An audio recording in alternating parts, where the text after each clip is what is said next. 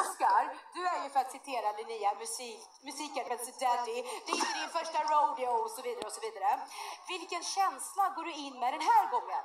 Ja, men det är, eh, jag är förvånad varje år att jag utsätter mig för det här. Eh, så jag är oerhört nervös. Det som är väldigt svårt, det är fördröjning här så det känns Ja, som att jag inte kan prata. Men Ja, men det märker inte ni där hemma så det var onödigt att jag påpekade det. Eh, Men det ska bli oerhört kul. Alltså Växjö, vilken otrolig stad. Ja, alltså, fantastiskt. publik. Ja. De levererar!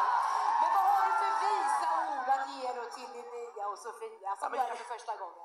Men Jag har nog liksom inte kunnat komma med så bra tips Snälla du, detta har hänt den senaste timmen. Det ligger såna här kylande eye patches i kylen om ni vill låna tjejer. Sen är han också så, noise cancelling i det är jättebra. Vill du ha kaka? Ska du ha clementin? Alltså han är som en sån mamma typ. Ja.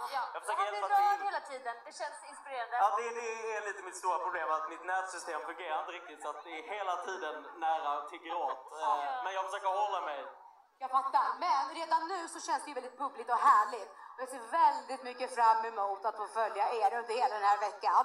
En annan grej då som faktiskt är obligatoriskt, det är dans. Ute på torget och inne i buren. Oskar, du har ju det här El ritmo en la sangre. Si. Sofia, du är the queen of fin men också fuldans. Tack.